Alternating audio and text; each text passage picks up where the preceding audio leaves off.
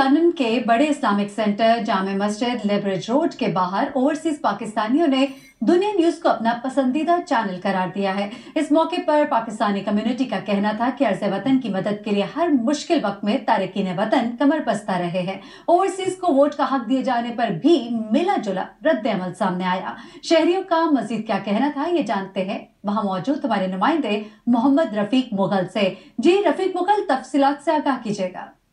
جی بہت شکریہ آپ کا۔ میں اس وقت موجود ہوں مشرقی لندن میں، جامع مسجد لیدریج روڈ کے باہر۔ جیسا کہ ناظرین، آپ کے علم میں ہے، دنیا نیوز نے روڈ شوز کا سلسلہ شروع کر رکھا ہے۔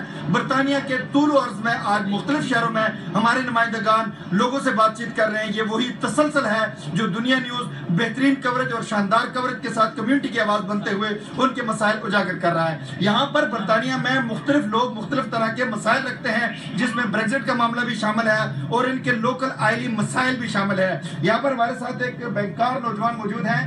عرفان، ان سے ہم پوچھیں گے کہ اگر بریگزٹ ہو جاتا ہے آپ بینک میں کام کرتے ہیں، آپ بتائیے گا کہ اس کے لوکل کمیونٹی جو ہماری پاکستانی کمیونٹی ہے بزنس کمیونٹی ہے، اس کے اوپر کیا اثرات پڑتے ہیں؟ اصل میں دیکھیں جو جو ہماری یہاں اسپیسیفکلی پاکستانی جو کمیونٹی ہے، وہ تو بریکفسٹ بریکسٹ کے خلاف ہے اصل میں۔ اور ہم تو یہ چاہتے ہیں کہ دوبارہ ریفرینڈم ہونا چاہیے ود دا کریکٹ انفارمیشن جو ہماری کمیونٹی ایک انفارم چوائس اور ورلڈ کمیونٹی ایک انفارم چوائس بنا سکے کہ از دا ریفرینڈم جو بریکسٹ ہے از اے فیتنگ اور نو فیتنگ جو اس وقت جو ٹریزم مے کے مطلب جو اگریمنٹ جو جان یہ is not again is not in favour of the general public بہت شکریہ۔ ایک اور نوجوان ہمارے ساتھ موجود ہیں۔ یہاں پر کہا یہ جاتا ہے کہ تارکین وطن کو ووٹ کا حق ملنا چاہیے۔ اپنے ملک میں جب انتخابات ہوتے ہیں وہاں پر ان کو حق رائے دہی میں شامل ہونا چاہیے۔ آپ اس کے بارے میں کیا کہتے ہیں؟ ہر ملک میں ہے اور ووٹ کے دینی چاہیے۔ ووٹ اس کو دینی چاہیے جو قابل ہے۔ انہوں نے کہا جی تارکین وطن کو ووٹ کا رائٹ جو ہے وہ ملنا چاہیے۔ ہمارے ساتھ ایک نوجوان بزنس مین موجود ہیں۔ صادق خان یہ کہتے ہیں کہ پہلے بریکزٹ کے پہلا جو ریفرینڈم ہوا تھا اس کے بعد خاصا بحث مباحثہ ہو چکا ہے۔ اب اس کو دوبارہ ریفرینڈم کیے جانے کی ضرورت ہے۔ آپ اس کے بارے میں کیا یہ جی، بہت اچھا ہے یہ دوبارہ ہونا چاہیے۔ پہلے جو ہوا ہے اس میں بہت برطانیہ کو بہت نقصان ہو رہا ہے۔ یورپ سے بہت لوگ باہر جا رہے ہیں اور اگر ادھر سے لوگ جائیں گے تو یہ برطانیہ کو کوئی فائدہ نہیں ہو رہا ہے۔ اس لیے ہم چاہتے ہیں کہ دوبارہ ہو اور اس میں ہماری جو بزنس مین کے لوگ ہیں ان کو بہت زیادہ فائدہ ہوگا جو ڈیم کے لیے یہاں آپ کی سلیبریٹ روڈ مسجد میں گزشتہ جمعے بھی یہاں پر فنڈ ریزنگ کی گئی۔ اس دفعہ بھی فنڈ ریزنگ کی جا رہی ہے۔ اس کے بارے میں کیا سمجھتے ہیں کہ نوجوانوں میں کتنا جذبہ موجود ہے جو ڈیم کو جو ہے وہ بنانے کے لیے تعاون کر رہے ہیں؟ تعاون کیا پاکستان میں ڈیم پر کے لیے بہت ہی قابل تحسین ہے۔ لوگوں نے بڑھ جاتا ہے اس میں حصہ لیا بہت شکریہ اس ہمارے ساتھ ایک جو لیبری ڈور مسجد کمیٹی کے ایک ممبر ہیں۔ نصار صاحب آپ موجود ہیں۔ بتائیے کیا جذبہ ہے؟ لوگ صرف جمعے کے اپیل پہ چندہ دے رہے ہیں یا اس کے علاوہ بھی آ رہے ہیں؟ ہاں۔ جی بالکل۔ لاسٹ ویک ہم نے اپیل کی تھی لوگوں نے بڑھ چڑھ کر اس میں حصہ لیا اور ڈیورنگ ویک بھی لوگوں نے تعاون کی ہے اور آج بھی کافی لوگوں نے اس میں ہمارے ساتھ بہت تعاون کیا ہے۔ شاہ خان کہتے ہیں دوبارہ ریفرینڈم کر لیا جائے۔ میرا خیال ہے اگر دوسرا ریفرینڈم کر لیا جائے تو بہتر ہے تاکہ ابھی کیونکہ پہلی جو دفعہ ہوا ہے تو لوگوں کو اندازہ نہیں تھا کہ اس کی کیا کانسیکوینس لیکن اب جیسی وقت آگے بڑھ رہا ہے تو اندازہ ہو رہا ہے کہ اس کے بڑے جو ہے ڈیزاسٹر قسم کے کانسیکوینسز ہو رہے ہیں تو اس وجہ سے جو ہے وہ اب جا رہی ہے دوبارہ اور میرا خیال یہ ہونا چاہیے۔ ہمارے جو ہے ہمارے جو ہے اپنا آنریبل پرائم منسٹر انہوں نے ابھی چیریٹی اپیل کی ہے۔ تو پورے دنیا سے جو اوورسیز پاکستانی وہ سب زیادہ چیریٹی دے رہے ہیں۔ لیکن جب ووٹ کا ایک آتا ہے، تو ڈول نیشنل کو ووٹ گرانٹ نہیں دیا جا رہا۔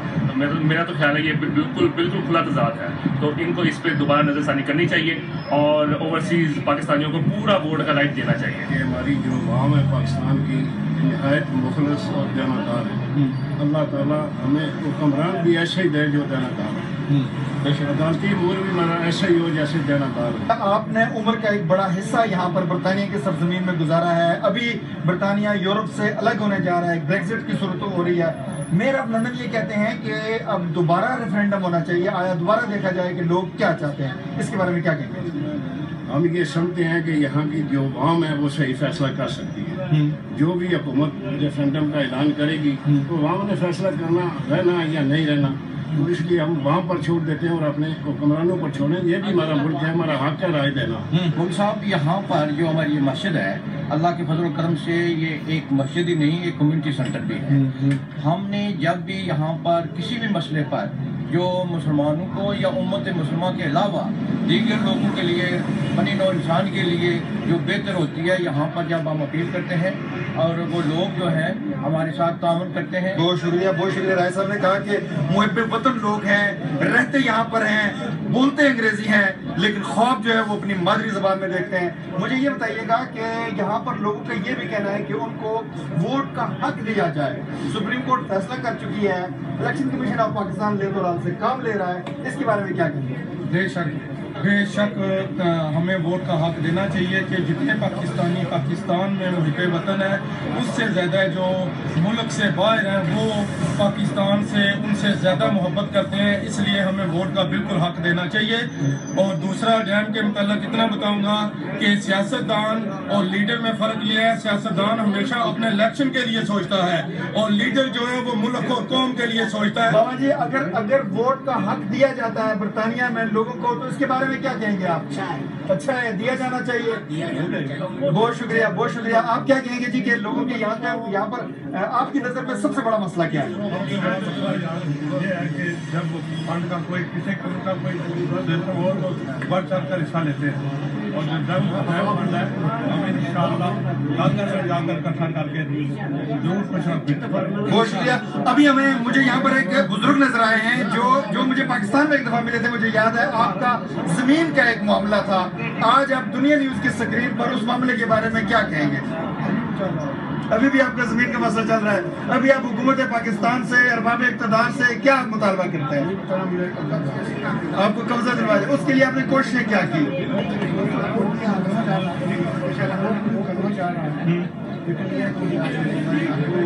نئی حکومت آ گئی ہے تبدیلی والی حکومت ہے نیا پاکستان ہے۔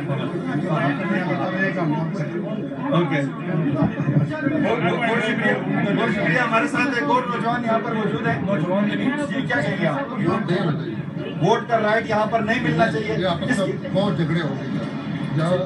برطانیہ میں تو یہ ووٹ کا بانٹتے آپس میں جھگڑے پیدا ہو دیکھیں یہ بالکل بجا فرما رہے ان کی رائے ہے۔ یہاں پر لوگوں کا یہ بھی خیال ہے کہ جب پاکستانی پارٹیز یہاں پر آتی ہیں پاکستانی سیاست یہاں پر دخیل ہوتی ہے مختلف پارٹیز ہوتی ہیں تو لوگوں کے اختلافات بڑھتے ہیں جو سماجی تعلقات پر بھی اثر انداز ہوتے ہیں یہ ایک رائے ہے۔ یہ جو پرائم منسٹر نے پرامس کیا ہوا تھا اس پہ اس کو یہ اپنا پرامس پورا کرنا چاہیے۔ یہ پارلیمنٹ جو ہے اس کو اس طرح نہیں جانا چاہیے۔ یہ اوورسیز پاکستانیوں کو ووٹ کا پورا حق ہونا چاہیے۔ آپ یہاں پر صدر بھی رہے ہیں جی، کمیٹی کے۔ آپ کیا سمجھتے ہیں لوگوں کے اہم ترین مسائل کیا ہیں؟ یہاں جو مسائل ابھی اس وقت ہمارے وہ ہمارے بچوں کے ہیں۔ ہم یہ سمجھتے ہیں کہ اگر ہمارے بچے نے ڈگریاں کر لی یا اور بڑی بڑی جاب لے لی تو ہم سارے ہو چکے ہیں۔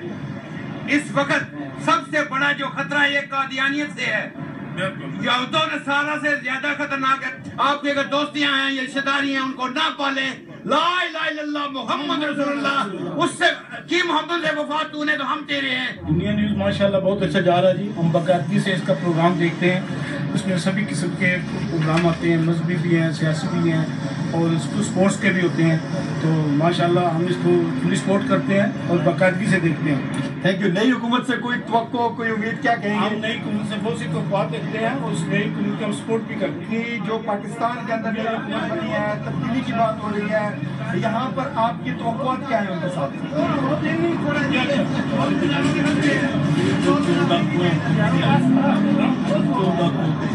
یعنی احتساب ہونا چاہیے بلا تفریق ہونا چاہیے یہاں پر لوگوں نے احتساب کی بھی بات کی، بلا تفریق احتساب کی بات کیا ہے، لوگوں نے یہاں پر آئلی مسائل کی بات کیا ہے۔ لوگوں نے یہاں پر بریگزٹ کی بات کیا ہے لوگوں نے یہاں پر ڈیم کو ڈیم فنڈ میں چندہ دینے کی بات کیا، مختلف امور پر یہاں پر لوگوں نے گفت شروع کیا۔ لیکن اہم بات یہ ہے کہ لوگوں نے یہاں پر یہ کہا ہے کہ جو اوورسیز کو ووٹ کا رائٹ ہے، وہ دیا جانا چاہیے۔ اور اس کے ساتھ ساتھ انہوں نے یہاں پر اپنی اولادوں کے حوالے سے بھی بات کیا ہے۔ دنیا نیوز کے روڈ شوز کا یہ سلسلہ جاری ہے۔ اور اس سلسلے میں لوگ اپنے اپنے خیالات کا اظہار کر رہے ہیں اور دنیا نیوز اس وقت جاندار طریقے سے، شاندار طریقے سے کمیونٹی کی آواز بن رہا ہے۔ محمد رفیق دنیا نیوز لندن۔